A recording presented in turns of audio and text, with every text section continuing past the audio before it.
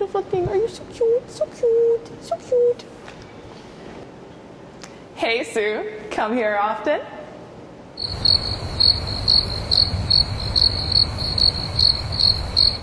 I've got to ask. Sue, you were visiting Halifax five years ago at the Nova Scotia Natural History Museum.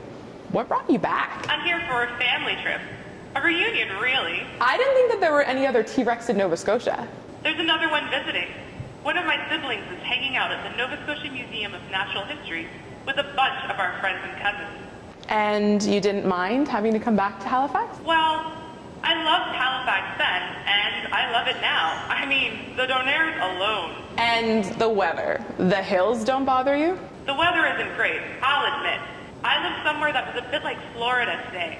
As for the hills, look at my big, strong legs and long, powerful tail.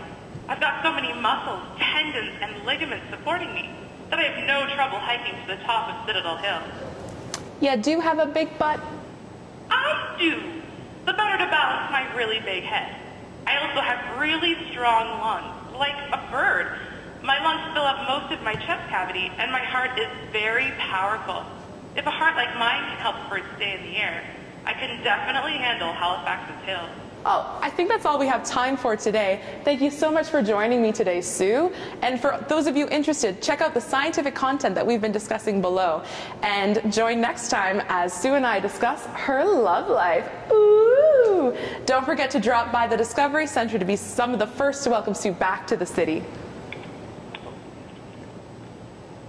Uh, Zabrina, who are you talking to?